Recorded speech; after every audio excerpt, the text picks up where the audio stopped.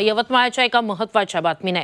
महागाव आणि पुसद तालुक्यात अवकाळी पावसानं कहर केलाय. दिवसात त्रेचाळीस डिग्री उन्हाचा पारा चढला असताना रात्री वादळी वाऱ्यासह बरसलेल्या धुवाधार पावसानं शेतकऱ्यांचं कंबरड मोडलंय. शिवाय अनेक घरांची पडझड झाली आहे मोठमोठाले वृक्ष सोसाट्याच्या वाऱ्यात उन्मळून पडलेत. अनेक गावांमधील वीज पुरवठा खंडित झालाय. काळी दौलत खान बोरी इजारा गावांना वादळी पावसानं दिलेल्या तडाख्यात शेतकऱ्यांच्या आंबा बागांना फटका बसलाय. गहू ज्वारीसह भाजीपाला पिकं मातीत मिळाली आहेत. हळद काढणी देखील प्रभावित झाली दरम्यान आणखी दोन दिवस अवकाळी पाऊस पडेल असा अंदाज आहे.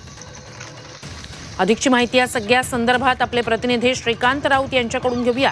श्रीकांत आत्ताची नेमकी काय परिस्थिती आणि दृश्य आपण पाहतोय मोठं नुकसान झालंय बळीराजाचं. श्रुती नक्कीच आपण जर बघितलं तर शेतकऱ्यांमागील शुक्ल काष्ट काही संपता संपत नाही असं चित्र आहे.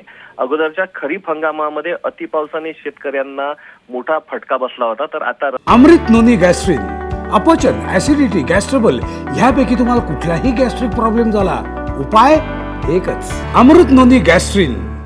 रब्बी हंगामात देखील ज्यावेळी ऐन पीक काढणीचा हंगाम होता त्यावेळेपासून पावसाने सुरुवात केलेली आहे.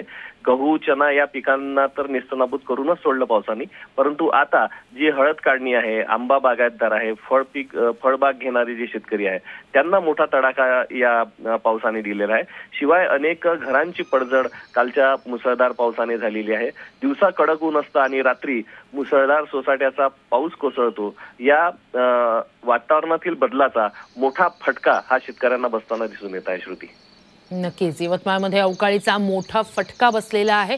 धन्यवाद श्रीकांत. तुम्ही दिलेल्या संपूर्ण माहितीसाठी.